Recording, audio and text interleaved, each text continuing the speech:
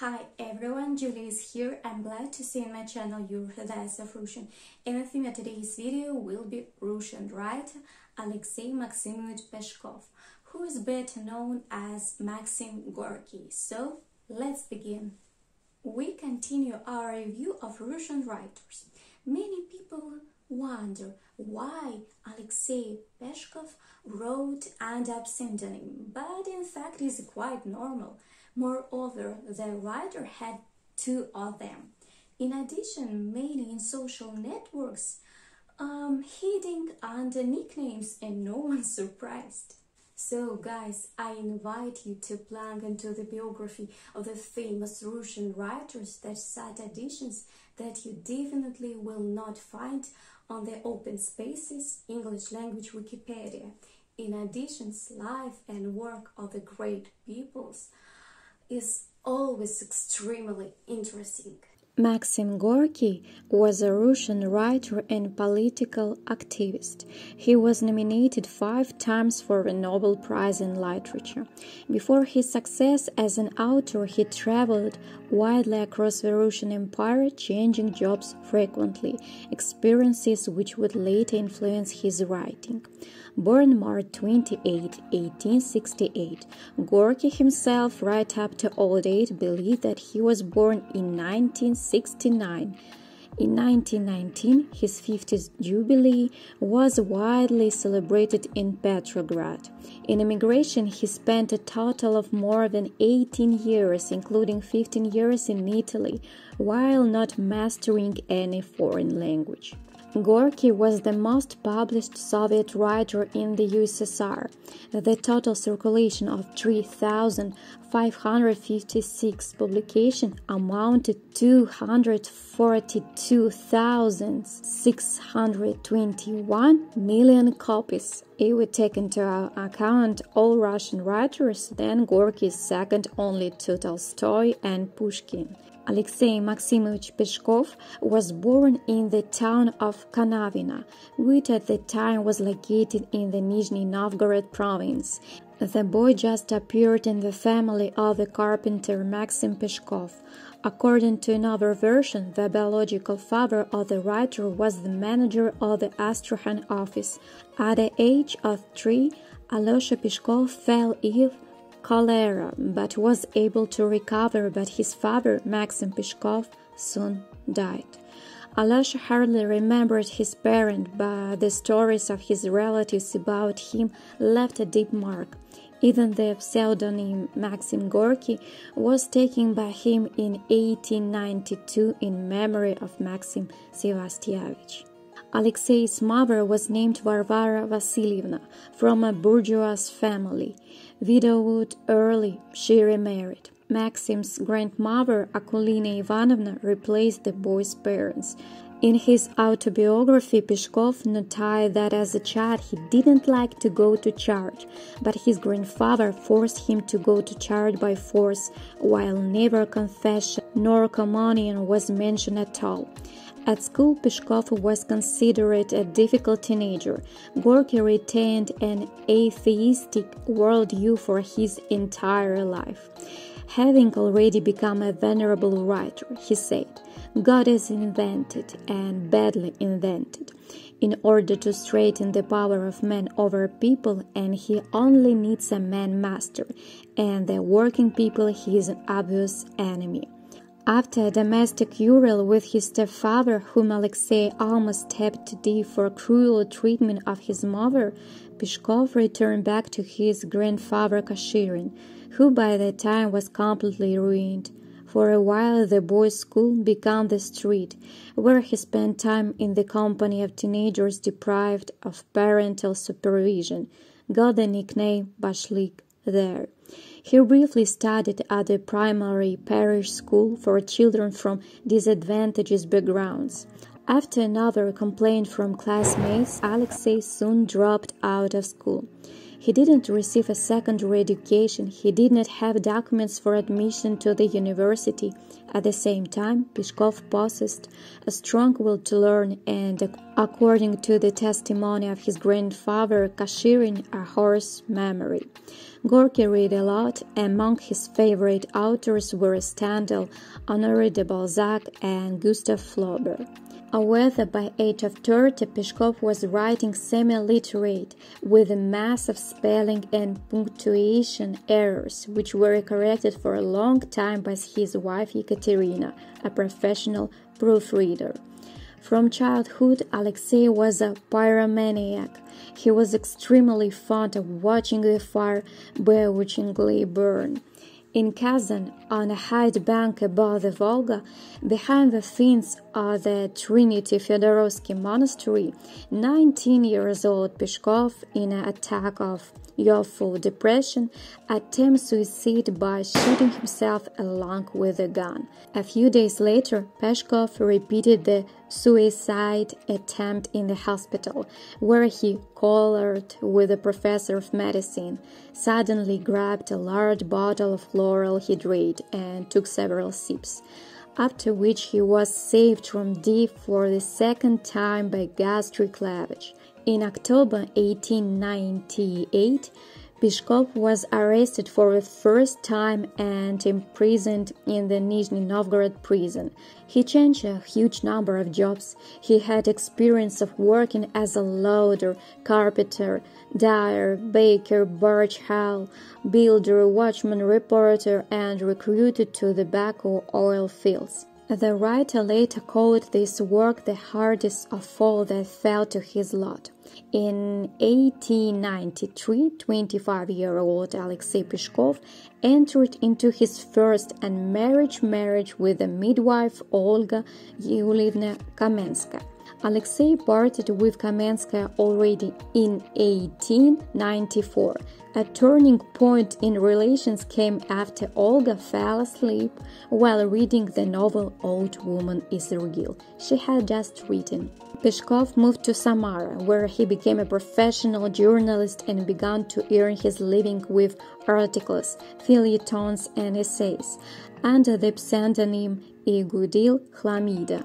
In just two incomplete years, in the Samara newspaper, Peshkov published about 500 literary works, which was an unthinkable performance for the then publicist in Russia. In 1896, Gorky married the daughter of a bankrupt landowner. Yesterday's schoolgirl, proofreader of the Samara newspaper Ekaterina Volzhina. In July 21, 1897, his first-born son Maxim was born in Crimea, Ukraine. Gorky met Chekhov and Tolstoy personally. A couple of months after the books were published, the writer, whose name was already well known, was again arrested in Nizhny. He publicly opposed the Tsarist regime and was arrested many times. Gorky befriended many revolutionaries and became a personal friend of Vladimir Lenin after they met in 1902.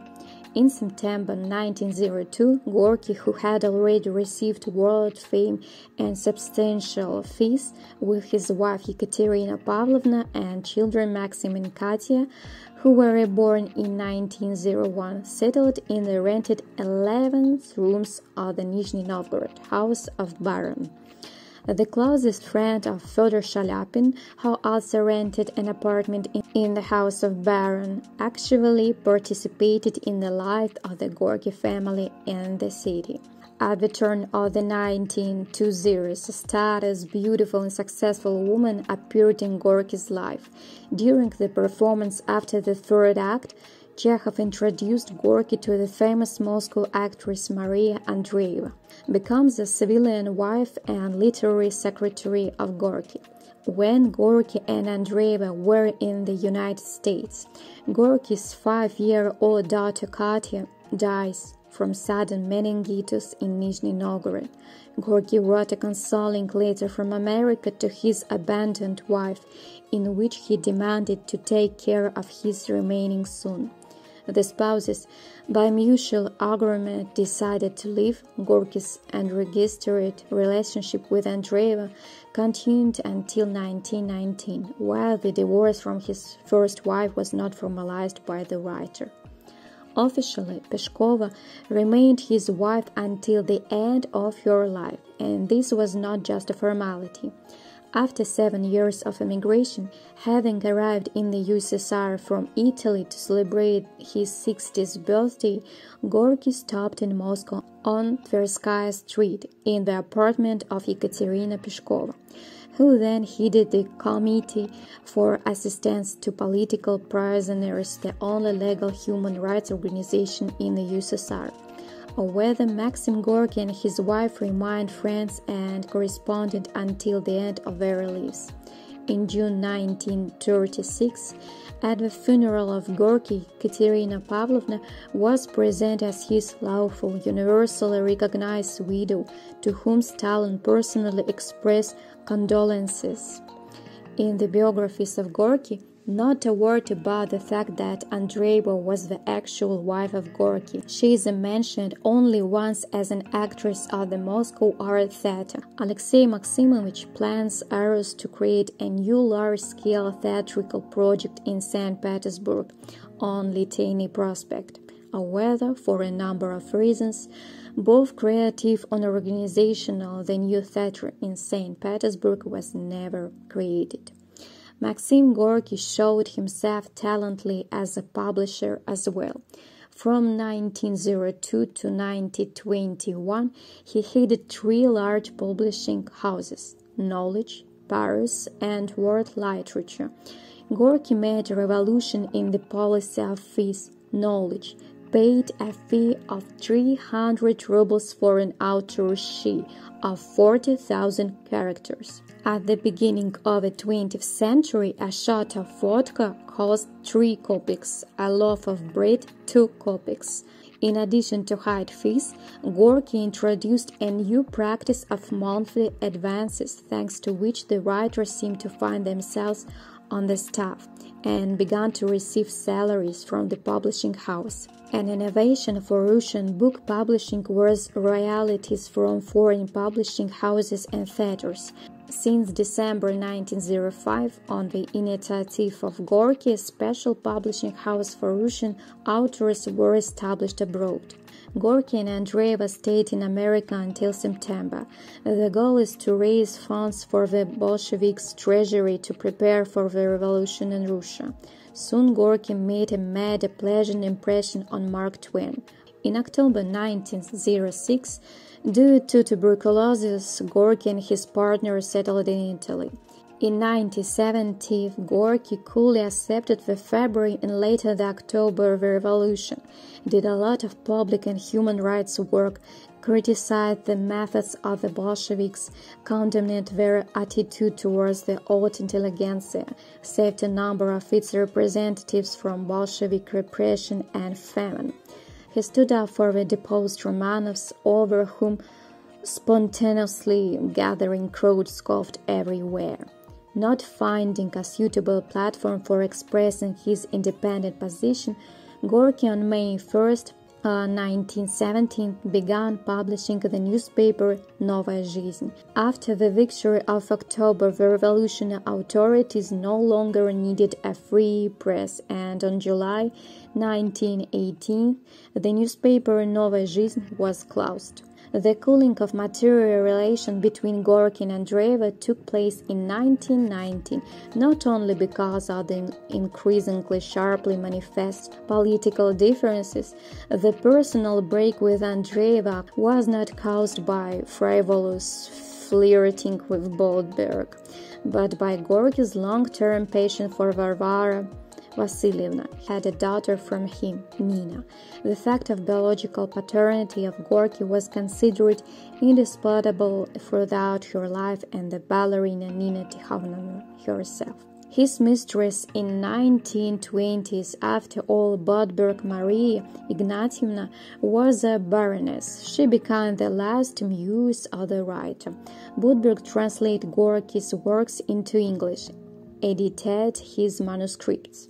According to the memories of Korney Chukovsky, the last patient of Gorky, Maria Budberg, attracted the writer not so much with her beauty as with her incredible sexual attraction. The writer lived with this woman for 30 years. The marriage, like the previous one, was unregistered.